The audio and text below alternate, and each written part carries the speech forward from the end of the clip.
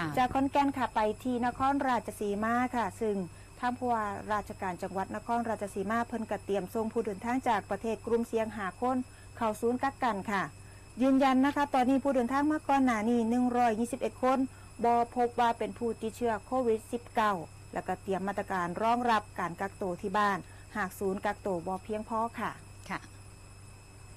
นายวิเชียนจันทรานุไทยผู้ว่าราชการจังหวัดนครราชสีมาค่ะ เพิ่นก็บอกภายหลังการเป็นประธานประชุม คณะกรรมการโรคติดต่อ ถึงการควบคุมดูแลกลุ่มที่เดินทางกลับจากประเทศเกาหลีใต้ ซึ่งขณะนี้มีจำนวนทั้งสิ้นหารายค่ะ แล้วก็ทางจังหวัดได้กักตัวไว้ที่โรงพยาบาลทั้งหารายเลย ก่อนที่จะนำตัวไปพักกักตัวที่ศูนย์กักตัวแรก ที่สถาบันศูนย์พัฒนาบุคลากรของสำนักงานสาธารณสุขจังหวัดนครราชสีมา โดยก็มีบุคลากรของสำนักงานสาธารณสุขจังหวัดนี่แหละค่ะเข้าไปดูแลตลอด 24 ชั่วโมง จนกว่าจะครบ 14 มือส่วนผู้ที่เดินทางกลับจากจังหวัดนครราชสีมาก่อนหน้านี้ค่ะ ก็คือก่อนวันที่ 6 มีนาคม ซึ่งก็มีอยู่ 121 คนนี่ละก็จากการตรวจค่ะก็บ่พบเชื้อโควิด -19 ทั้งหมดเลยค่ะนะทั้ง 121 คนนี่แหละค่ะ แล้วก็ยืนยันว่า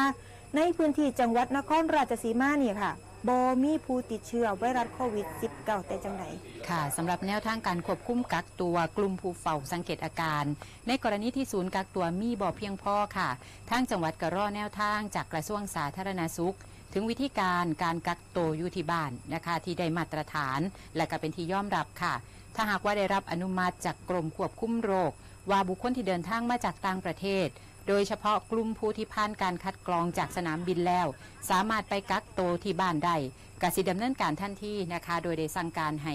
นายอำเภอกำนันผู้ใหญ่บ้าน สาธารณสุขอำเภอ เตรียมความพร้อมในเรื่องนี้ค่ะ ถ้าหากว่ามาตรการการกักตัวที่บ้านได้รับการอนุมัติค่ะก็ขอเป็นกำลังใจให้เนาะพี่น้องแรงงานไทยค่ะไปเหตุการณ์เหตุงานอยู่ประเทศค่ะกลุ่มเสี่ยงก็อยากกลับบ้านเนาะค่ะกับบวากันค่ะ